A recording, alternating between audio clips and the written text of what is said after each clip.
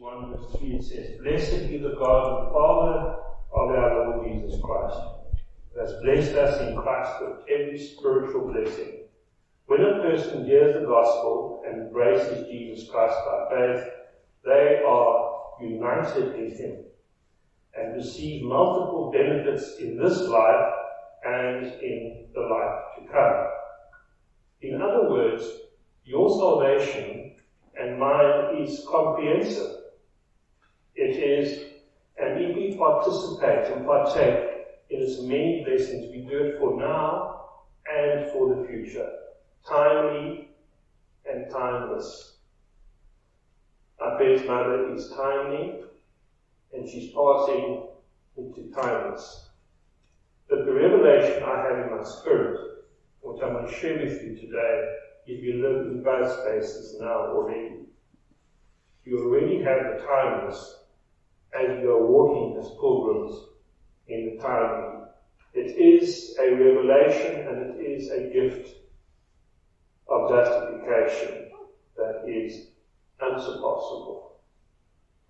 Because we now enjoy, through justification, adoption and sanctification, and various other benefits in this life and the one to come. So two of these blessings, justification and adoption, are singular acts of God's free grace. And the final blessing, sanctification, is an ongoing work of God's free grace. In other words, you can't be any more justified or adopted than you are once you have been united in Christ.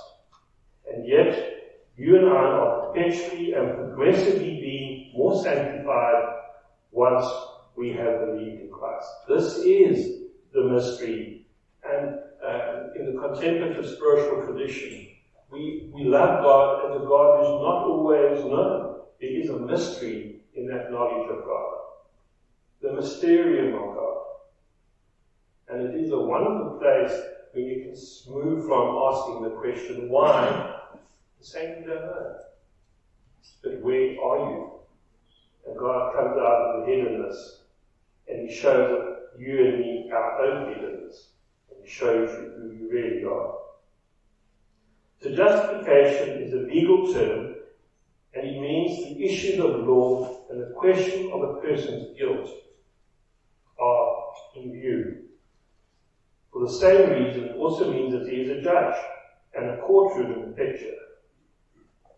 So there's a kind of forensic audit in hell about lives and sin. This is God's domain, and this is God's business. And I very seldom like to talk about it.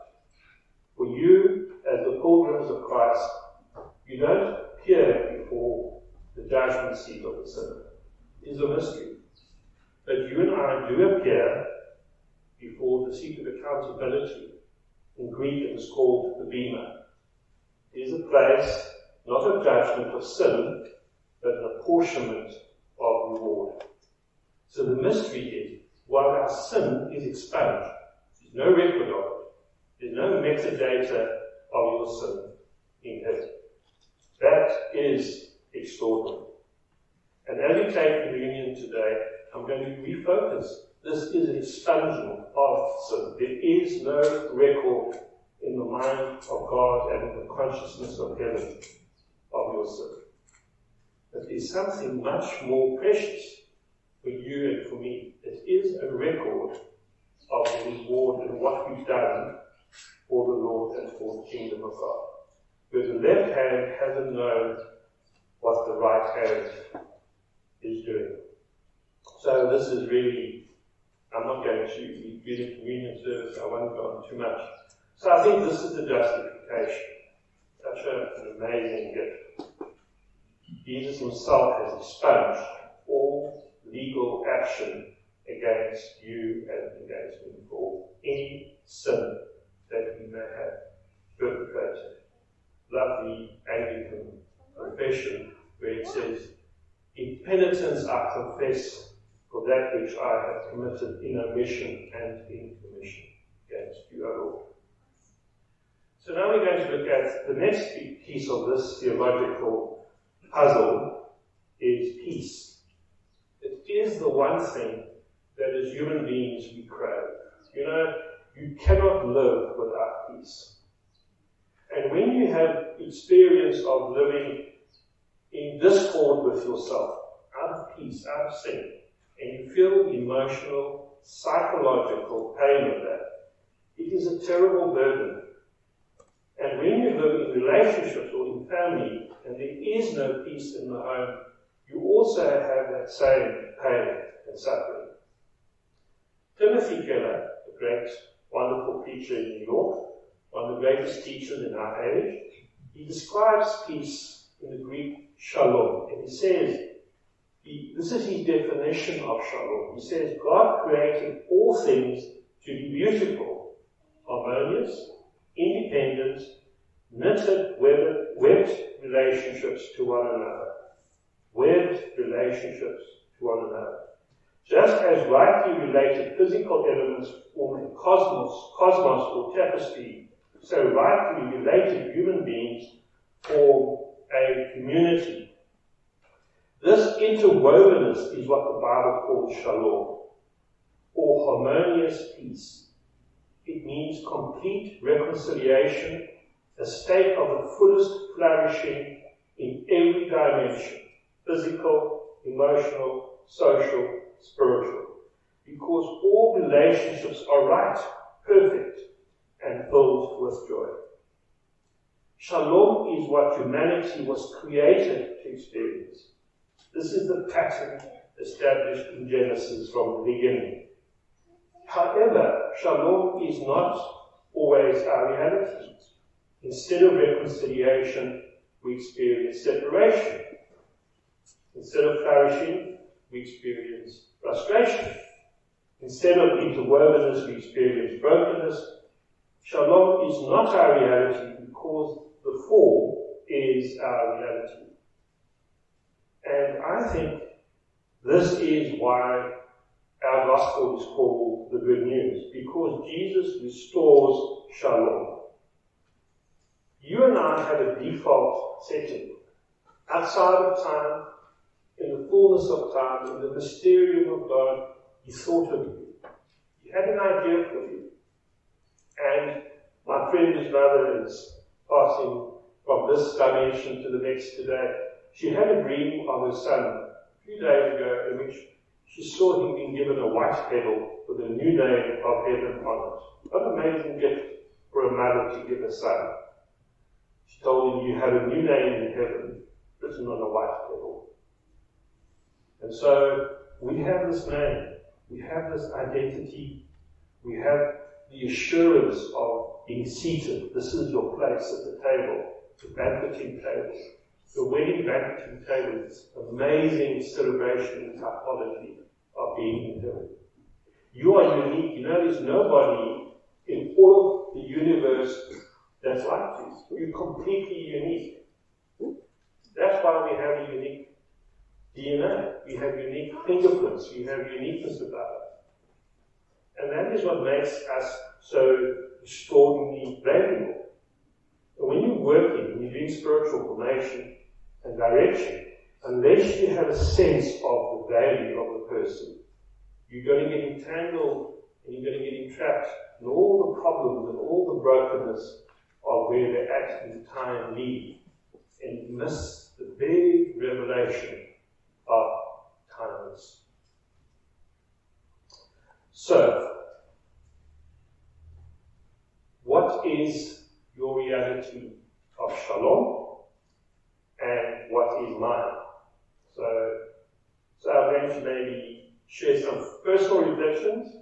Uh, the reason possibly I recently celebrated my commitment to Christ as a student. Uh, my wife and I went Rose.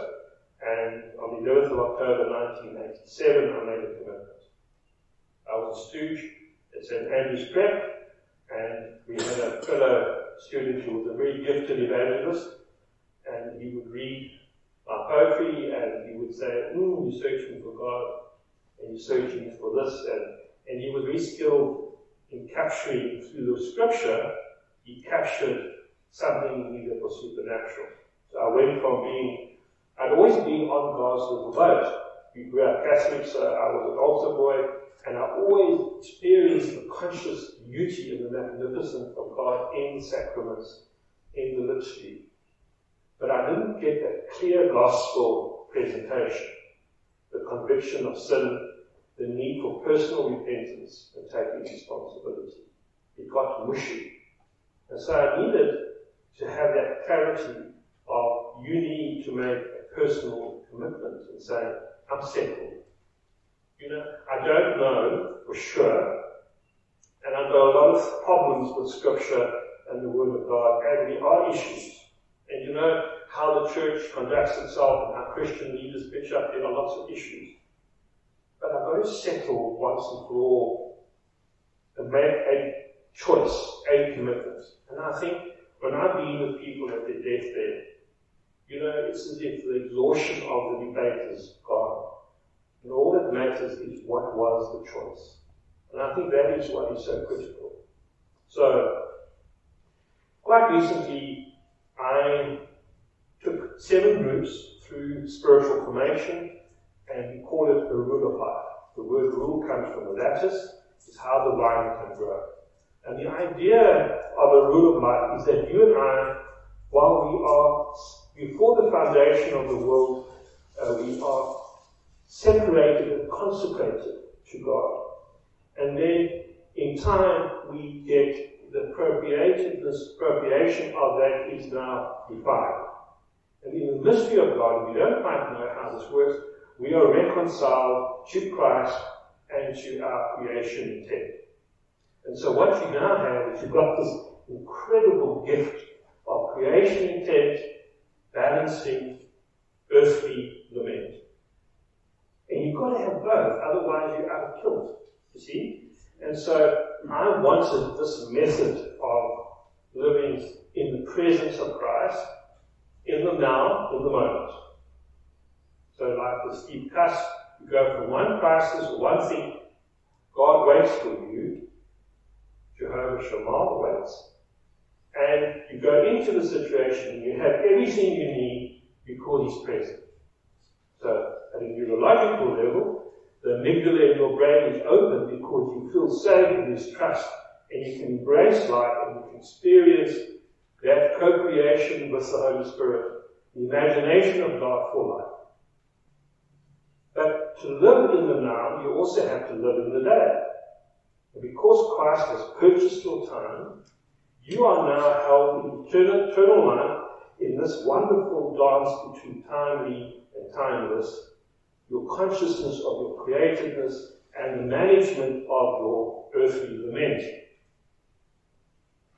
Incredible. The truth and the reality of God's love, where we are, is what brings us out of hiddenness to embrace the Messiah who says, I see you.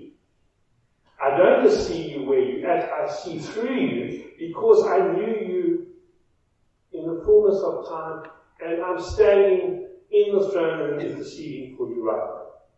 What an incredible privilege to be loved like that.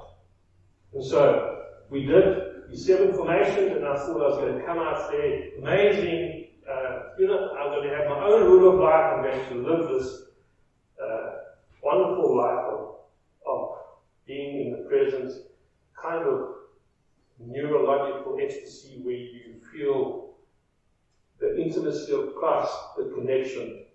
But that hasn't been the case. I don't really have the full sense of heaven.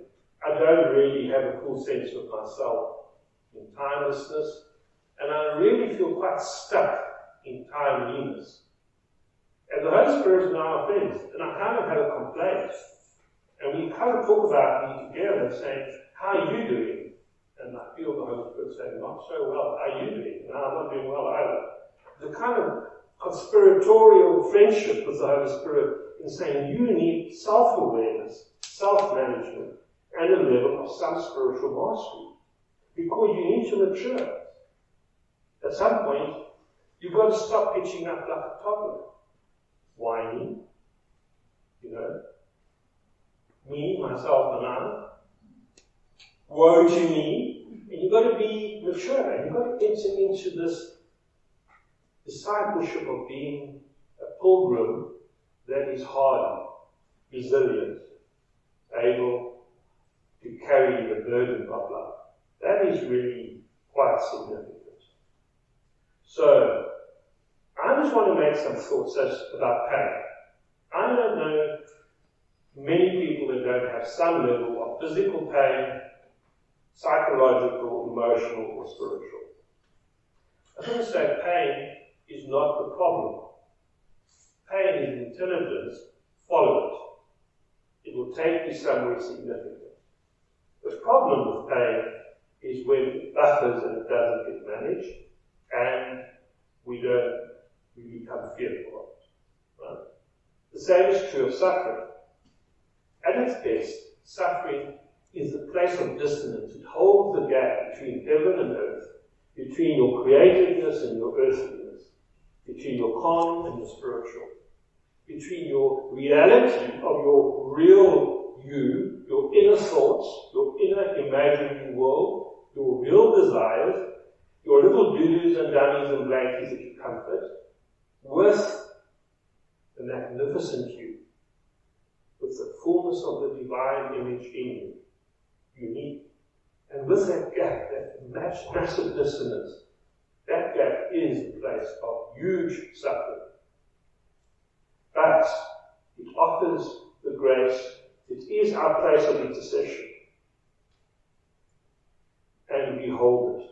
So, if we can allow suffering to be our place of prayer and intercession, then it has meaning and we can at least address the stubbornness that we're in.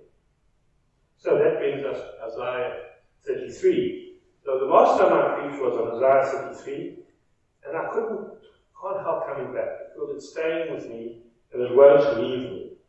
So Isaiah is prophesying on three levels. Saying to the people in the time, you are at risk.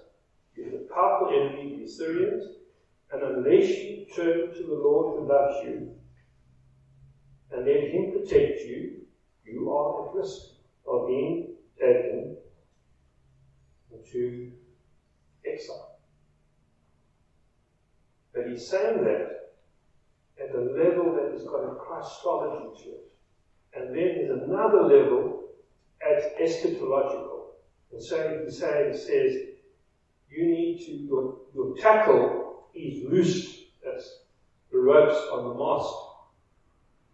They could not strengthen the mast. They could not spread the sail. And this is what I want to share with you today. That you and I, we need to attend to our loss. What is your worldview on how do you understand the gospel? Vertical. How do you understand who you really are? Timely timeless. How do you understand the people around you? Are you trapped in what you believe about them, or are you open to let God speak to you about what He believes. We also, in the crisis, because we have powerful enemies in the land, if you have any insight into the enormous catastrophic risk of Eskom and our debt in the country, we have reason to be shaken. But just as Isaiah was prophesying in his day, there is a blessing on our land, and there's a blessing on us as people. And we need to the Lord love us.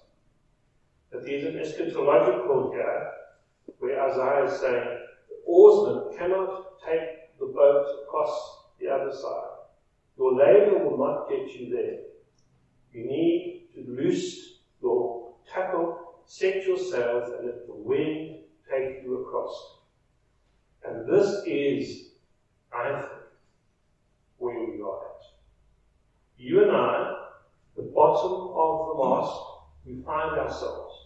In our humanness, you have epigenetics, you have a history, there's been trauma, There's been a history of betrayal, rejection, injustice.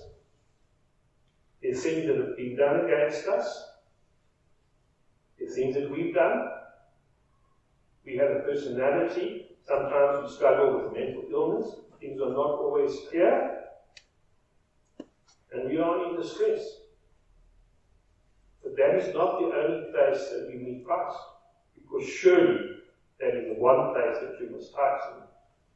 You find him at the top of the mast with the intent for our lives, who we really are, and we must tighten sails with the belief that we are loved. We are known, we are called, set apart, consecrated from the very beginning. And then you tighten the sail along with the boom, the vertical, now the horizontal gospel of social impact in our kingdom, in the kingdom, in the nation, in the city, in our church, in our community, in our neighborhood, in our family, in our household. The loose riggings where we are at. And now the sail is tightened on the mast and the booms at the bottom, at the top, and along the side, and now we wait. And so this is this is where I am at. I'm waiting. So I believe that every single day is forgiveness. You cannot walk in this dimension of time without the practice of daily forgiveness. You ask and you give. Most importantly, you have to forgive yourself.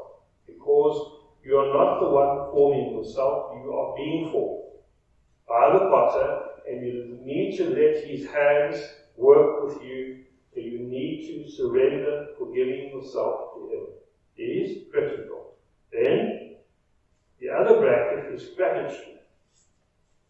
So you and I need to be forgiving every day and grateful for every day.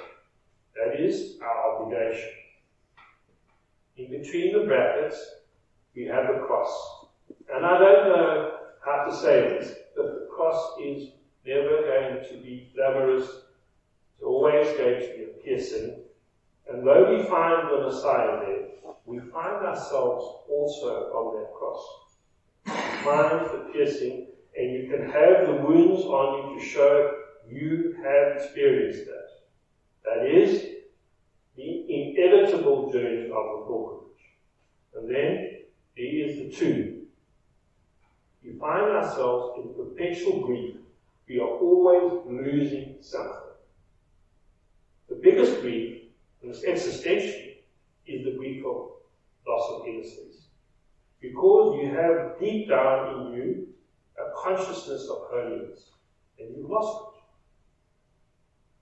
it. You have a consciousness of perfection, and you don't have it. You have a deep consciousness of peace and shalom that is so deep, it's ecstatic, but we don't have it. There is no sin, there is no sickness, there is nothing that goes rotten or broken. We have within us that intuitive sense of that exists already. So, now we live in the real world, and the gap is there and is lost.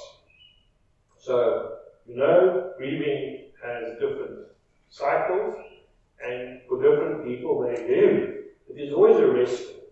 A refusal to accept that you grieve is a loss. And you're angry. That's also a fact. Then there's depression.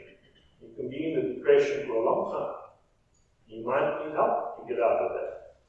And that is one of my biggest regrets, is that I did not have enough knowledge of the of psychology and psychiatry to help and to help other people. I think our family would have been in a very different, different place if we had more knowledge. So I think that is quite critical. And then you come out of the depression, you manage, you reframe, you use that Viktor Frankl's concept of making meaning into suffering, and then you transform. But the transformation happens only with the power of the Holy Spirit. The same power that was able to put Christ in Mary, the same power that gave him the grace to hang on the cross, the same power that took him out of the tomb, is the power that you and I need. It is a moment by moment, day by day, month by month, year by year, abiding, indwelling hunger and openness. Lord, will you me as sanctuary, as a place of preference for you. So that's it. It is a big task, and I don't know how you're going to do that other than being very intentional about a rule of life for yourself. You change the language, but you are going to need to take your time in your day and be very intentional about the practiced presence of Christ in His Word, both in the reading of the Word and the studying of the Word, in prayer. And I love Thomas Merton and uh, Simone Weil's concept. Prayer is not just telling God what He knows. Prayer is an ability to be attentive to where He looking, what is He touching, what is He feeling. That sensitivity to prayer is what makes for an amazing existence and partnership and friendship with God. And then you have the week. Sabbath keeping is not something that's optional. We depend on it. Unless the Lord builds the house, the labor is laid in vain. Your work is your worship. Right? And then your year how you celebrate your day, the intentionality of whether you practice a liturgical year, a biblical, uh, Jewish calendar, it doesn't matter how you integrate that. That is quite critical. And then sabbatical rest, how do you prepare for the resting in your life, letting the land lie fallow? How are you preparing for Jubilee? So, the Jubilee is quite important because it's the departure line before we go to the next and I always have this image of my daughter when she just began to travel, she had lots of luggage. And we get angst as we get to the check-in because we knew that we'd have to take things out. One day she had about two kilograms of bath salt that looked like okay. So, in any event, not traveling much lighter. But you need to get rid of things in your life right now.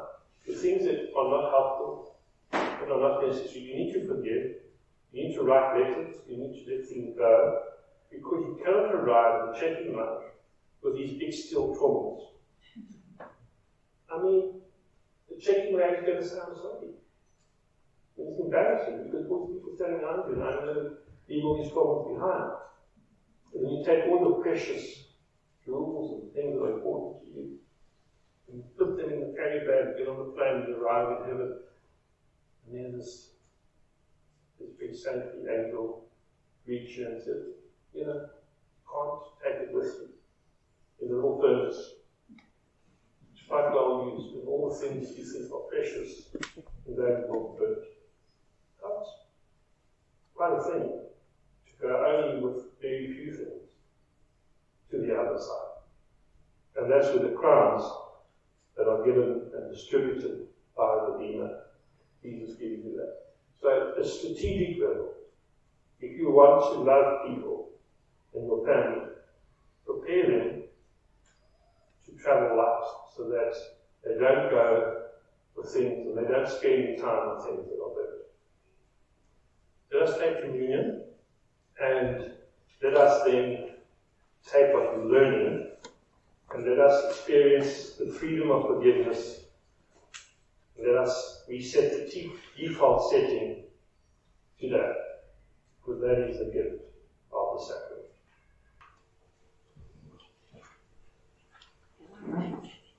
The Lord be with you. Lift up the hearts. Let us give thanks to the Lord our God. Let us proclaim together Christ has died. Christ is risen. Christ will come again. Gracious God, pour out of your your Holy Spirit upon us and upon these your gifts of bread and wine, that the bread that we break and the cup we bless may be the communion of the body and the blood of Christ. By your Spirit, unite us with the living Christ and with all who are baptized in his name, that we may be one in the ministry in every place, as this bread is Christ's body for us. As this bread is Christ's body for us. Send us out to be the church. Unite us now at your table and in one loaf and common cup make us one in Christ Jesus. Let your Spirit empower the life we share and ignite our witness in the world. With all who have gone before us, keep us faithful to the gospel teachings and fellowship, the breaking of bread and prayers. Give us strength to serve you until the promised day of the resurrection, and with the redeemed of all the ages, we will feast and be with you at your table in glory. To Christ, all glory and honor are yours. Almighty God, with the Holy Spirit in the Holy Church, now and forever. Amen. As we drink from the cup, we drink from the cup of suffering. May your suffering that you experience be put under the blood of the Lamb. May you experience the freedom that comes from being one with the Lord.